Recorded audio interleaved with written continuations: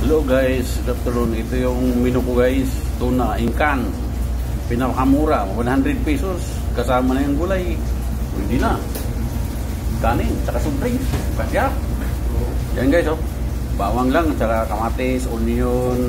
Nilagyan ko ng sili para manganghang. Lamihan mo na ng mga sahog para mas masarap. Black pepper, tapos little salt, then little magic sarap, black pepper, then apat na ano tatlong itlog then flour and cornstarch ayun lang guys. Ano?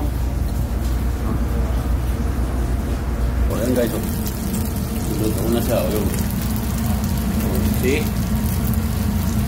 Hindi mabigat sa bulsa.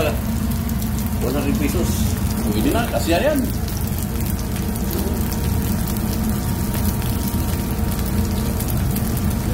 Kahit di ka na kailangan pumunta ng palengke, kaya tindahan lang. Oh. See?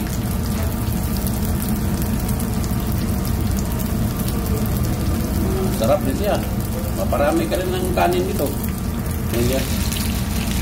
Bagoong partneran ay steam okra. Oh, yan. O, see? Mura lang, mino. Yan, partner doon sa